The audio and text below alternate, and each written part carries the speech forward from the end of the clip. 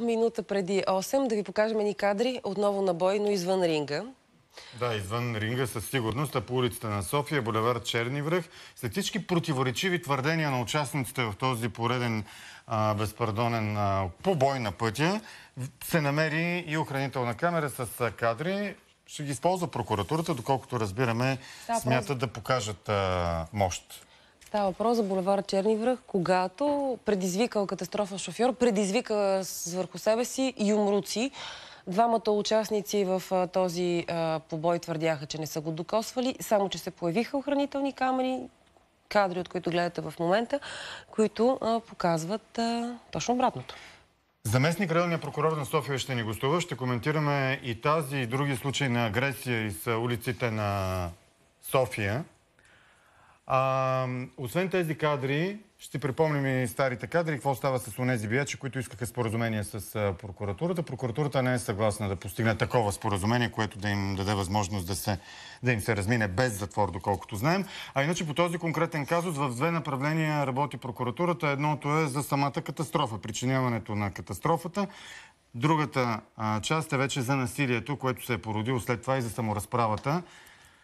Всъщност, този човек, който риташе автомобила на пресеклия пътя им и след това започна да удря, както се вижда и от камерите, пострадалия и не спрял на знак стоп нарушител, все пак по друга линия, твърди, че изобщо не е участвал в побой, по никакъв начин не е докосвал а, човека, който се оплаква и твърди, че има наранявания по лицето си, потвърждава го и прокуратурата, само че се появиха вчера тези камери, а, тези видеозаписи, които удостоверяват точно обратното. За сега този човек не е задържан. Задържан е другият, за когото се твърди, че е нанесъл основните удари върху тялото и лицето на пострадалия шофьор.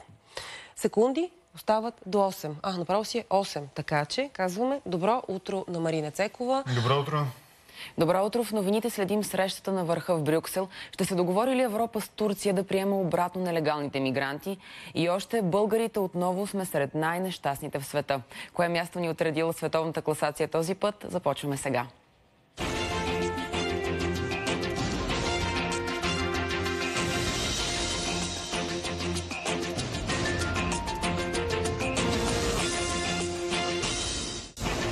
Добро утро, това са новините в 8. Аз съм Марина Цекова. Европа на крачка от сделка с Турция. Целта е страните членки да затворят вратите си за нелегалните мигранти и да ги върнат в Турция. Това споразумение се очаква окончателно да обсъдят европейските лидери в Брюксел днес. На предходната среща те се споразумяха Турция да приема обратно нелегалните мигранти, които са връщани от Евросъюза, а за всеки беженец, който Европа върне, ще трябва да приеме по един сириец от лагерите в Турция.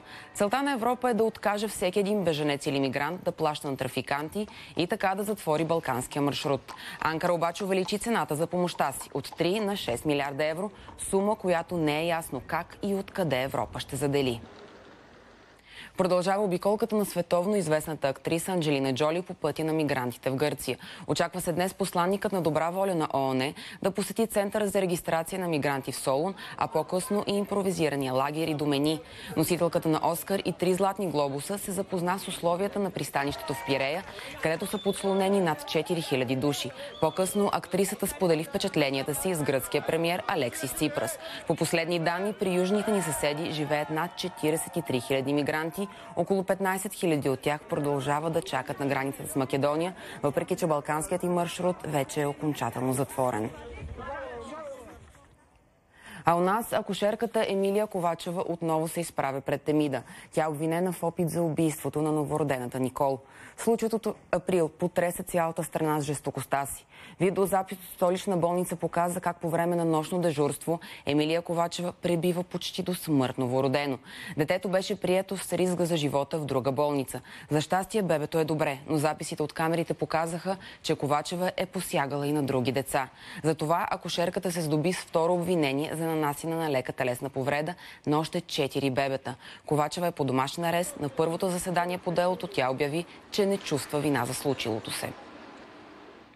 Природозащитници на протест срещу политиката на столичната община по отношение на бездомните кучета. Те настояват за незабавно прекратяване на затварянето на животните в общински приюти, осигуряване на ежедневен достъп на граждани и доброволци до там и масово осиновителна кампания за затворените в приютите кучета.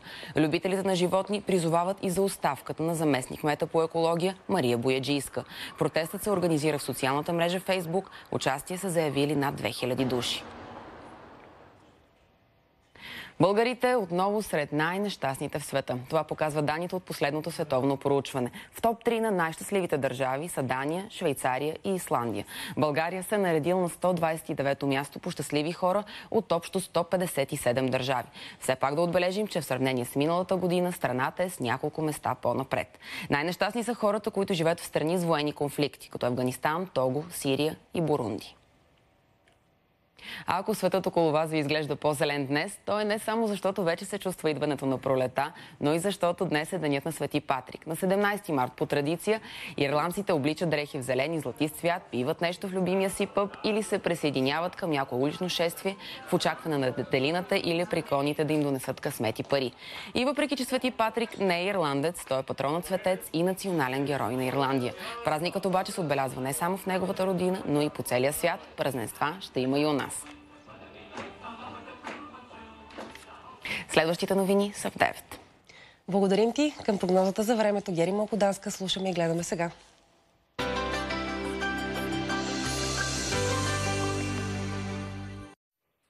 Добро утро! Слънчево начало на деня в почти цялата страна, обаче е студено. В Бургас температурата е точно 0 градуса.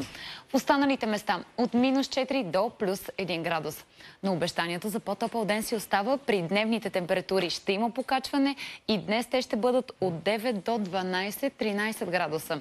Ще бъдат допълнени от много слънчеви часове. По-ветровито днес ще бъде само в местата от Дунавската равнина и в източна България. Вятърът ще се ориентира от запад. Слънце ще грее днес и в планините, вятърът ще е доумерен, температурите по курортите ни сега все още са отрицателни. А утре отново денят ще бъде слънчев и още по-топъл. Очакваме от 11 до 16 градуса, но не забравяйте, че утрото ще е студено. За съжаление, точно през почивните дни вятърът ще се усили, ще захладне и ще започнат слаби валежи от дъжд и от сняг. С новата работна седмица ще дойде и ново затопляне в понеделник, а във вторник пак ще вали. Хубава сутрин ви пожелавам. Останете с здравей България!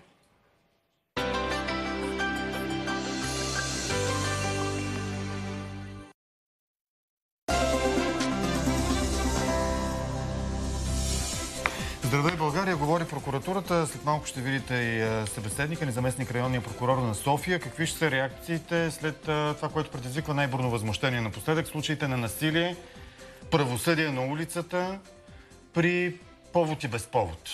Последните кадри, които се появиха вчера, бяха от инцидента на булевард Черни връх в София онзи ден, когато човек предизвикал катастрофа, затова няма спор, струва ми се, навлече върху себе си гнева, ударите, шутовете и каквото се сетите друго на унези, в които се е ударил, нарушавайки правилата и не спирайки на знак стоп. Защо тези с шутовете не са извикали полиция, за да може тя да накаже нарушителя на правилата, са започнали да правят това, което виждате в кадър. Не е известно, но полицията и прокуратурата се намеси, ще има наказания, а човека, който виждате в момента, всъщност е пострадали, нали не бъркам? Сега ще коментираме детайлно. След малко ще се появи кой, вторият от а, засечения автомобил, който твърдеше, че няма нищо общо с а, побоя на раняванията върху тялото и лицето на този човек. Той първо блъска автомобила горе в дясно. автомобила на нарушилия правилата и не спрелия на знак стоп. След това идва и блъска в лицето и въпросният човек. Ето ги кадрите горе в дясно, виждате как се излива гнева. Шутове, шутове, шутове. Дали институциите и властите ще се намесят а, с, а, не знам, Виждам, дали с шутове или с някакъв друг инструментариум. Да. Стефан Милев ви представяме. Говорител а, беше сега и зам... на Софийската районна прокуратура, сега е заместник районен прокурор. Добре дошли, добро утро. Добро утро на зрителите ви и на вас. Да коментираме ли първо конкретния случай, после да говорим и за онзи стария на околовръстното и по принцип? Проблемът или... е точно по принцип, че имам чувството, че до там е стигнал обществото ми, че всеки един случай инспирира следващ. И то вече след много кратък период от време. За съжаление, уличното правосъдие придобива все по-големи размери и тук в това студио ще го кажа категорично, ще бъдем безкомпромисни. С цялата, целият инструментариум на репресивни мерки, които ни дава закона, разбира се, законосъобразни. Добре, дайте тогава конкретно. Какво на кого може да се случи в конкретния казус? Хората казват ми, той е, записите не се признават. Кога се признават записите? да уточним какво ще стане излизаме извън казуса и искам да а, спра веднъж за винаги тази спекулация. Не е вярно, че записите не се а, признават като законно доказателство. Вярно, това не е изрично разписано в закона, но практиката на съдилищата е константна.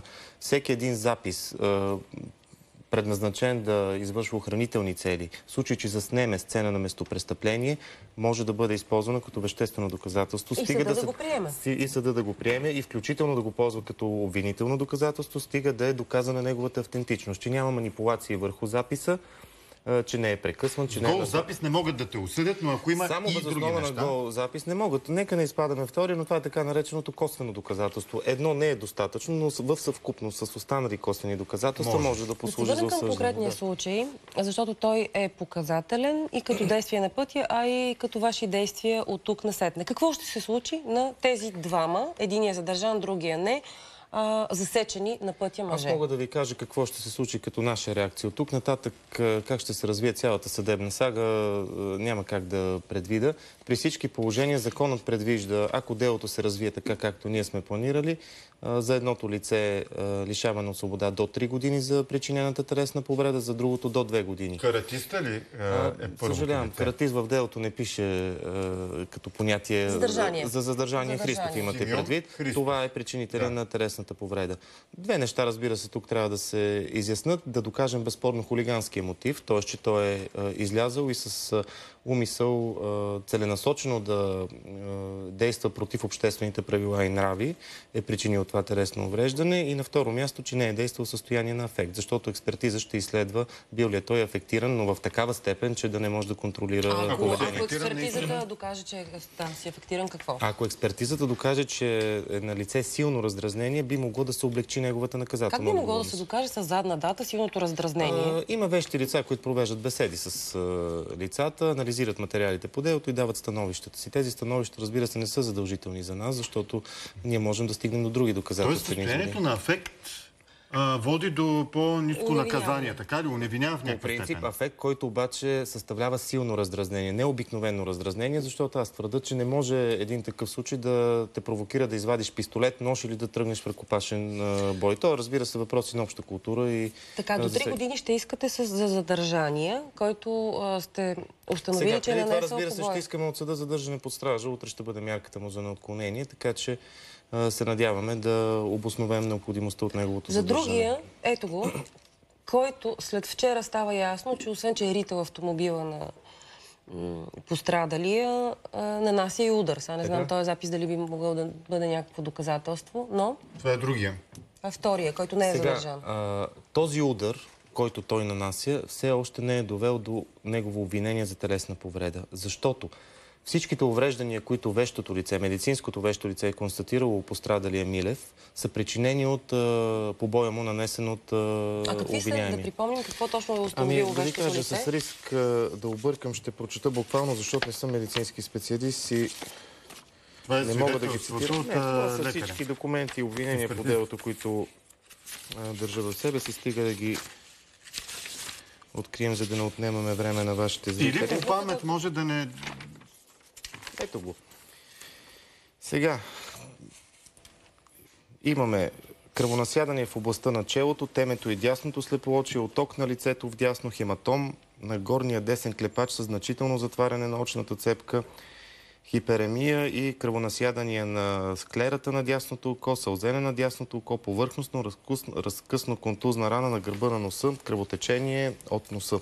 Това са увреждания, които според показанията на пострадалия в съвкупност с медицинската експертиза са причинени от задържания. Христов. А какво ви казва а, пострадалия? Пострадалият за прояви много интересно процесуално поведение, защото първите часове след инцидента категорично отказваше да говори. Беше мотивиран от органите на четвърто районно да Това е сътрудничи много, ключово. Защо Ами- отказваше един човек, който е бит, да разкаже как е бит? Защото преди това е бил участник и вероятен причинител на самото пътно-транспортно происшествие. Това ще го изясним по второто дело, което а, върви.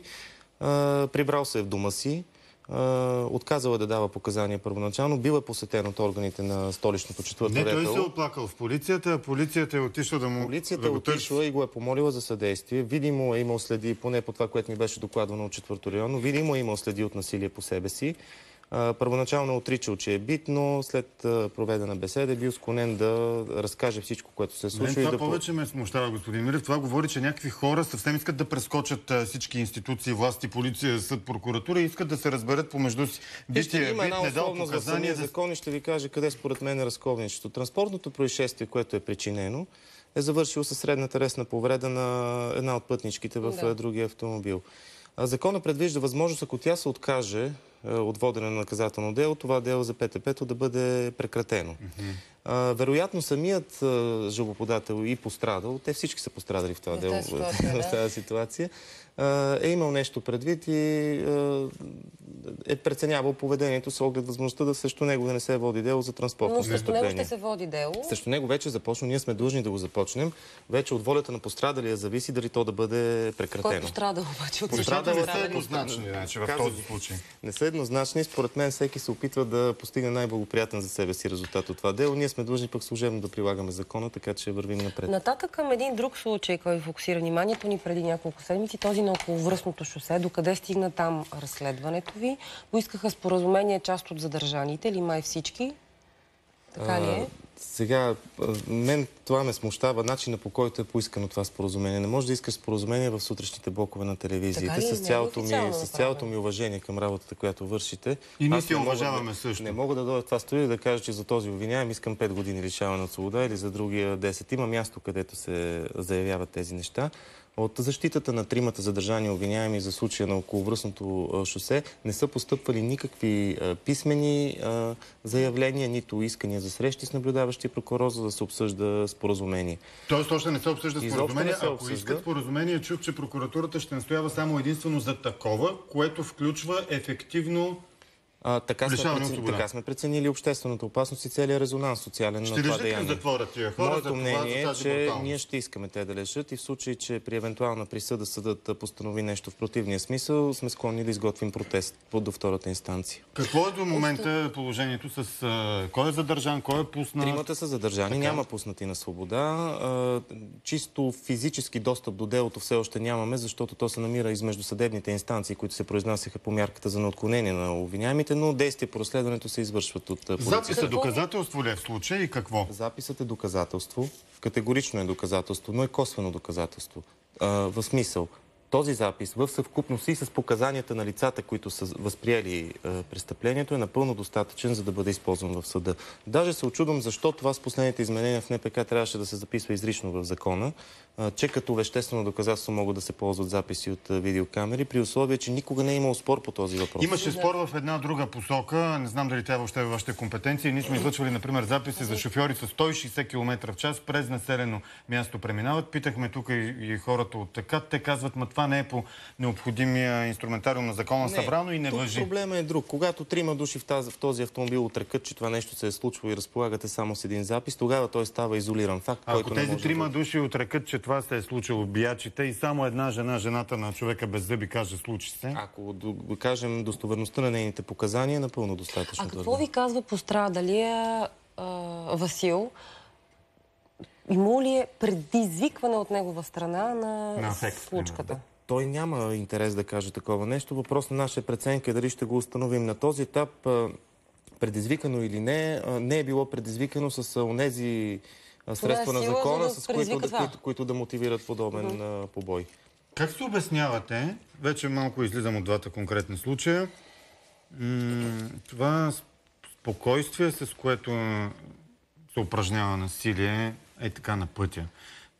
Тази сигурност, че нищо няма да ти се случи. Може би до момента прокуратурата точно такъв знак е давала или съда, да не обобщавам. Но Струва ми се, някакви че- хора излизат, вадят палки, ходят си с оръжие, казват забранено ли е, държат се нагло. Не им пука. ми се, че продължение на цялата тази тема, която бяхте започнали след 7.30 и слушах в автомобила си, спокойствието, с която посягаш на учител, с която отиваш на улицата и нападаш някого, с която засичаш, блъскаш, удряш. Истината е, че социалната деградация на обществото ни върви в много голяма степен и не случайно в новините чух, сме били една от най-нещастните държави, а най-нещастните били тези с военни конфликти. Това, което се случва всеки ден по улицата е равносилно на военен конфликт на практика. Виждате, че за един клаксон излизат хора с бухалки и нападат мъж в присъствието на приятелката му. Това може да е детето му на 4 години или на 5 години. Нали? Разбирате, че дете да възприеме такава сцена може да остави травма за години напред. Аз ви благодаря за това гостуване. А, последен въпрос, извинете. В районната прокуратура в София колко такива казуса раз... има Истината е, че... разгледани? Нека да ви кажа, ни, никога не сме защото- давали гласност. Такива казуси ежедневно постъпват от централни столични кръстовища. Един засякал друг, този слязал, щупил му огледалото или стъклото, ударил му шамар. Просто експонирането на тези случаи, за които говорим, се дължи на заснети видеозаписи и на обществен шум. Иначе през ден постъпват такива сигнали, жалби и работим по тях. Работим, защото наистина в София тази тенденция трябва да бъде установена. Властите са по-активни обаче, когато има подобен, подобна публичност. Или Но самите участници мислим. не са много активни. Дадох ви пример с пострадалия, който органите на четвърто РПО трябваше лично да молят да им съдейства. В Има. Има някакво схващане, че няма смисъл да се занимават за дребни случаи институциите, понеже никой няма да обърне внимание на никого. Между другото, и тази сутрин показахме от моята, от Дръжте крадеца една наша рубрика кадри за много по-дребни, разбира се, неща, кражби на включително на хранителни продукти. Хората масово казват, няма смисъл, няма да ни обърнат внимание, това няма да се признае. Кое няма да се Какво да направим? Вие нищо не правете. Хората знаят, че всяко едно полицейско управление е отворено за тях, а върху полицията надзор се упражнява от прокуратурата. Така че ние сме длъжни да, преценяваме дали те законосъобразно си вършат работата. Аз гарантирам, че няма жалба, която да, не бъде, да бъде оставена без.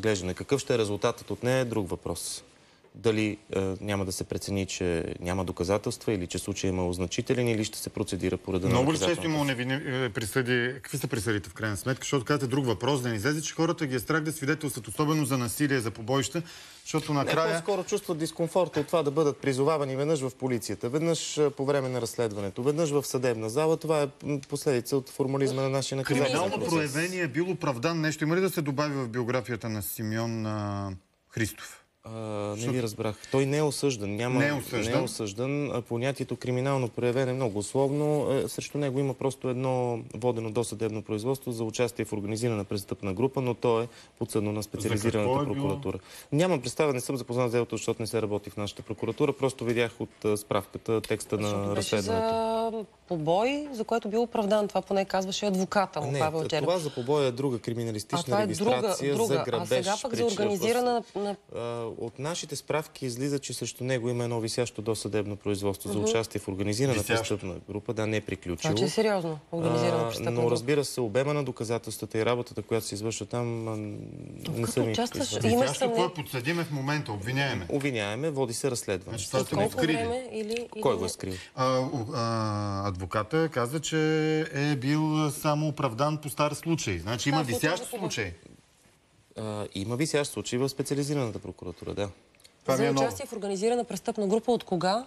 Или, или А, нямате справка? Нямам в мене справката, но има активно дело, по което се работи. Поне Когато се води дело срещу човек, който е уличен, че участва в организирана престъпна група, не трябва ли да е в ареста, докато се води това дело? Или задавам тъп и наивен въпрос? Не, вижте, въпросът ви е резонен и това сме акцентирали в мотивите да бъде задържан и да искаме от съда задържането му, че а, лице, срещу което вече се водят две досъдебни производства, да, крие в себе си риск да извърши и ново престъпление, което по НПК е основание за неговото задържане. Но не може да ни кажете съществото на деянията по организираната Не мога да ви престъпна ги кажа, защото не съм запознат нито с делото, нито работа в специализираната прокуратура. Специализираната прокуратура този случай е висящ. Това допълнение беше важно. Благодарим ви много.